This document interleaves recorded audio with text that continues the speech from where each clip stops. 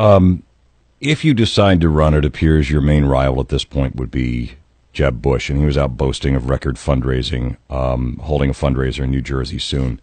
You know, you've told us before that you guys have been friends for a long time. Yeah. Do you still speak to him? Do you have anything to do with him, or or, or is there that kind of rivalry already? No, we. I mean, I guess the last time we spoke was when we were both in Iowa together Mm-hmm. um, for the Ag Summit, the beginning of March, and we stood around for about five minutes or so and chatted. We were both in a holding room together, and it was just the two of us, and we sat there and talked for about five minutes. There's, you know, this is. I don't know whether we'll ever get to the point where you're you're really angry with each other, but we're Right. nowhere near that point. Um, you know, we're you know we're both guys who are considering because let's remember something.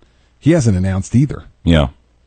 So, you know, nobody's asking him, when are you announcing? Yeah. Well, he gets the questions, but not as much as you. Right. I mean, Well, you know, I- you know, so I don't understand why that is. He hasn't announced anything either.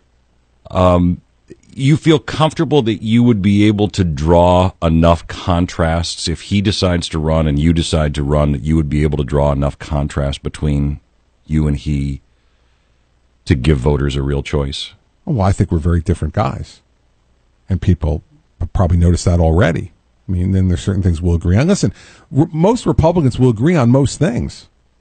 That's what most Democrats agree on most things.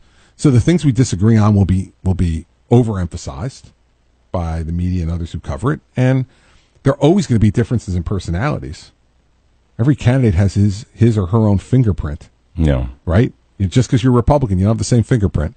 So who I am is unique and different compared to who Jeb is, compared to who Marco is, compared to who Rand is, compared to who Ted is. You know, But on a personal note, how did you feel when you found out your longtime friend and political ally, Senator Joe Kyrillos, uh, through his support behind Jeb, gave $10,000 to his campaign?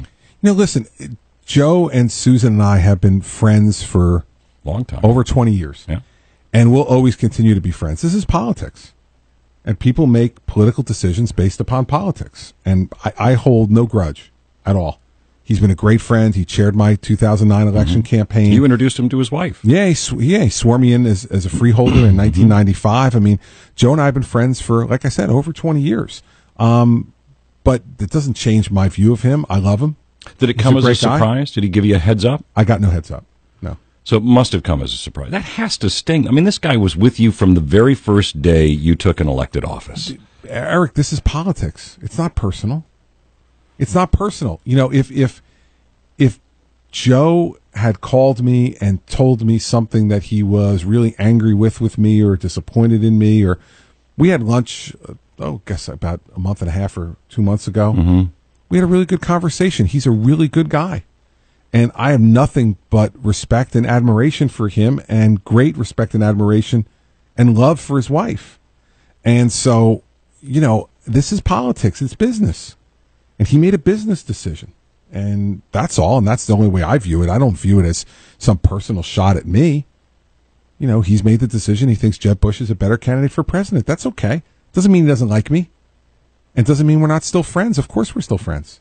Why would we not be? We have too many things. We know each other's children. We've, I celebrated his 50th birthday with him. Um, he, he and I took Bill Palatucci out for his 50th birthday. I mean, we've done some really wonderful things together that are at monumental moments in each other's life. He was at my 50th birthday party.